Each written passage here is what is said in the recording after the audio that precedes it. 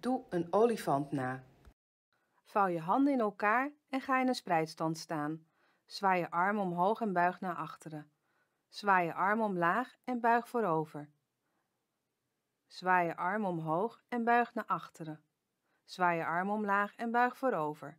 Kom langzaam omhoog. Maak je handen los en zet je voeten naast elkaar.